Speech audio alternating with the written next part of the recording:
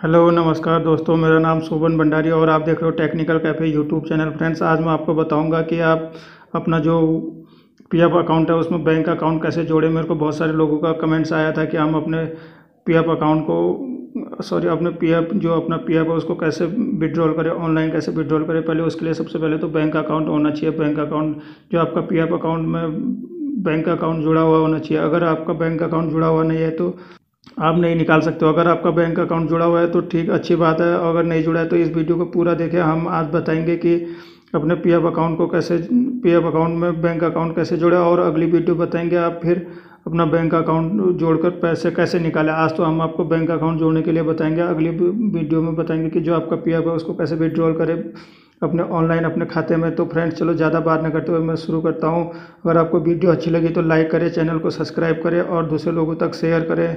तो फ्रेंड्स उसके लिए हम सबसे पहले गूगल क्रोम से खोलेंगे। जैसे कि आप लोग देख सकते हो, मैं गूगल क्रोम से खोलूँगा इधर पर गूगल क्रोम से क्लिक कर लेंगे और इधर पे यू एन लिख लेंगे। जैसे कि मैंने ऑलरेडी सर्च मार रखा है यू एन करके।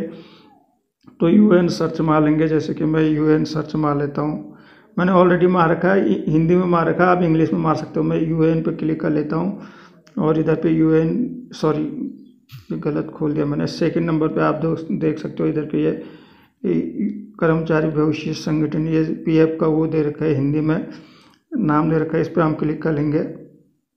आप चाहे तो इंग्लिश में कर सकते हो, हिंदी में कर सकते हो, और इधर पे आप देख सकते हो, एक पॉप ऑप सा खुल जाएगा, ये इसके बारे में बताया रहेगा। हम इसको कट कर लेंगे, आप पढ़ सकते हो, इसको पढ़ना चाहते हो तो पढ़ सकते हो। अब मैंने इंग्लिश में कर लिया, हिंदी इंग्लिश दोनों में कर सकते हैं। और इधर पे आप देख सकते हो, मैं थोड़ा जूम कर लेता हूँ। ये देख सकते हो, के वाई सी अपडेट मोबाइल, इस पर हम क्लिक कर लेंगे। आप देख सकते हो, इधर पे फिर हम इस पेज पे पहुँच जाएँगे। और इधर देख सकते हो, मेरा यू नंबर है और मेरा पासवर्ड जो कि ऑलरेडी आ रखा है। आपका यू नंबर और पासवर्ड कैसे डाल लेने का है। अगर आपको पा यू नंबर पासपोर्ट नहीं है आपके पास तो मैंने एक वीडियो बना रखी है पिछली, उसका लिंक मैं नीचे डिस्क्रिप्शन बॉक्स में दे दूँगा। उस वीडियो से आप दे सीख सकते हो कि आप अपना यूएन नंबर और पासपोर्ट कैसे जनरेट करें। तो फ्रेंड्स इधर एक कैप्चा है ये कैप्चा हमको बराबर भरना पड़ेगा, देख सकते हो ये कैप्चा है, इसको बराबर भर लेंगे। तब तक के लिए मैं वीडियो पॉज कर लेता हूँ और इसको भर लेता हूँ। कैप्चा भरने के बाद हम नीचे साइन इन पर क्लिक कर लेंगे। अगर आपको कैप्चा समझ में नहीं आ रहा तो रिसेट पर क्लिक कर सकते हो, दोबारा कैप्चा आ जाएगा, आप रिसेट पर क्लिक कर सकते हो। मैं जैसे कि अभी इसको साइन इन कर लेता हूँ। देख सकते हो। फिर एक नया पॉपअप सा खुल जाएगा, इसके नियम वियम उसके बारे में बता रखा है। आप इसको पढ़ सकते हो, नहीं तो इसको ऊपर से कट कर लेंगे। अब इधर पे एक नया पेज खुल चुका है। ये देख सकते हो, एक नया पेज खुल चुका है। जो जो जो आपने वो कर रखा है, आपका यू नंबर आपका वो नाम और आपका डेट ऑफ़ बर्थ सब आ जाएगा इधर पे।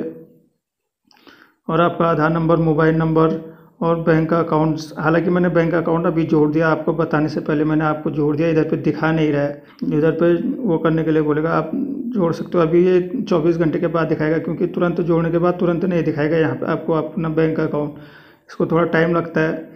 जैसे कि मैंने इधर पे जो जो चीज़ जोड़ रखा है, वो वो चीज़ दिखा रहा है, जैसे आधार कार्ड जोड़ रखा है पैन कार्ड जोड़ रखा है जेंडर फेंडर वो सब जोड़ रखा है।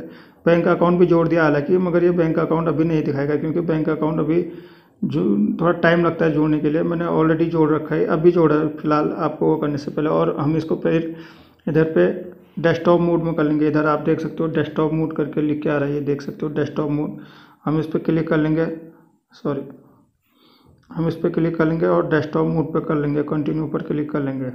डेस्कटॉप मोड में करने के बाद एक ऐसा पेज खुल जाएगा। देख सकते हो आप डेस्कटॉप मोड में हो चुका है डेस्कटॉप मोड में करने के बाद ऐसा आपका खुल जाएगा, और आप देख सकते हो ऊपर मैनेजर आपको जूम करके दिखा रहा हूँ। मैनेजर, ये देख सकते हो आप, मैनेजर। मैनेजर पर हम क्लिक कर लेंगे। मैनेजर पर क्लिक करने के बाद आप नीचे इधर तीसरे नंबर पर देख सकते हो के वाई सी, के वाई सी पे क्लिक कर लेंगे। देख सकते हो आप इधर पे, आ चुके हम के वाई सी पे क्लिक करने के बाद नया पेज खुल चुका है इधर पे। नया पेज पे हम देख सकते हो इधर बैंक है। जैसे कि मेरा, डाल देता हूँ मैं। मेरा ऑलरेडी मैंने भर रखा है, जैसे कि आ रहा है अपना आप। ये डाल दिया इधर पे। बैंक का जो नाम है वो डाल दिया, इधर पे आईएफसी कोड जो है वो डाल दिया। और उसके बाद हम लोग देख सकते हो नीचे मेरा जैसे कि ऑलरेडी मैंने अभी डाला, मैंने आपको बताया इधर पे। आप लोग देख सकते हो ये पूरा मेरा इधर आ चुका है के जो अभी किया मैंने। इसको 24-25 घंटे लगेंगे एक्टिवेट होने में। हो सकता है तीन चार दिन भी लग सकते हैं, सात दिन भी लग सकते हैं, ज़्यादा से ज़्यादा।